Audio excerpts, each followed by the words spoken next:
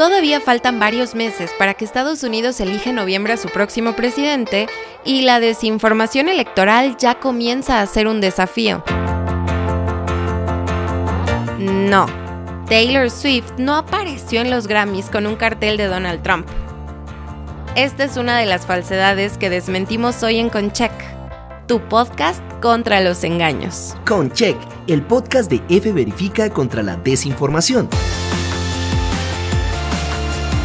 En este episodio desmontamos un video manipulado de Taylor Swift supuestamente haciendo campaña en la alfombra roja de los Grammy.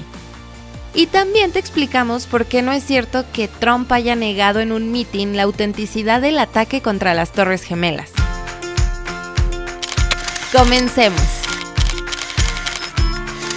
Otra vez Taylor Swift fue blanco de la desinformación política.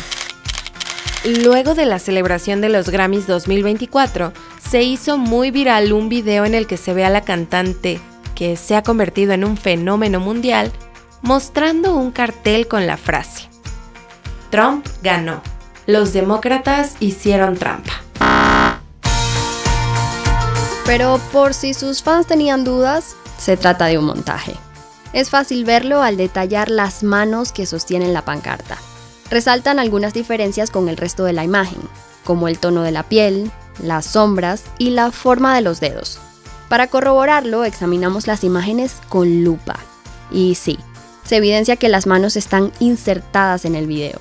Lo mismo pasa con el letrero, que por cierto, hace referencia al supuesto fraude electoral de 2020, del que no se ha hallado ninguna evidencia. También encontramos la secuencia original de Taylor posando en la alfombra roja, publicada por la revista Variety el día de los Grammy. La cantante en ningún momento saca un letrero y en realidad lleva puestos unos guantes negros largos que le cubren las manos. Recordemos que en el pasado esta artista ya ha sido objeto de otras imágenes manipuladas y acusaciones falsas sobre su postura política, no solo en Estados Unidos, también en México y en Argentina donde pese a lo que se dice en redes, es falso que se haya pronunciado electoralmente en alguno de sus conciertos. Hablemos ahora del atentado del 11 de septiembre y cómo reapareció en medio de esta contienda presidencial estadounidense. Internautas utilizaron una grabación de Trump para extender la ya antigua teoría de conspiración que argumenta que la caída de las Torres Gemelas fue un teatro. Lo que circula es un video que dura poco más de un minuto y en el que se escuchan las siguientes declaraciones. Pero ahora hablo de ello todo el tiempo. No tuvimos un World Trade Center, no tuvimos los ataques que ustedes han visto y que ciertamente se ven en otros países. No. A pesar de lo que oyeron, es falso que Trump haya tildado de engaño el atentado contra las Torres Gemelas.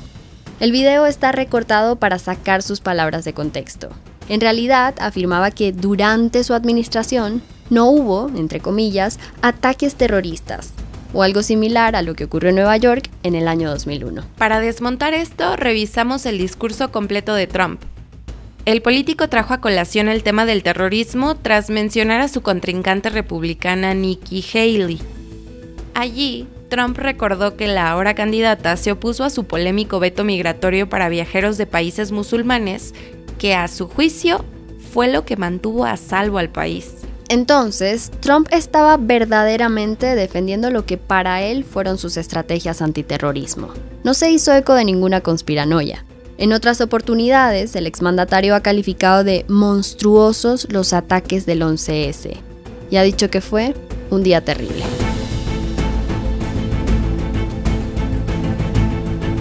Y hasta aquí un episodio más de Concheck. Recuerda suscribirte a nuestro podcast para estar al tanto de las últimas verificaciones. Hasta la próxima. ¿Has recibido un mensaje y no sabes si es falso? Envíanoslo y nosotros lo verificamos. Puedes mandar tus preguntas, fotos, sonidos y videos a nuestro WhatsApp. Es el más 52 55 61 66 24 82. Lo repetimos. Teclea el signo más y después marca el 52 55 61 66 24 82. También puedes consultar la web de F Verifica y seguirnos en redes sociales.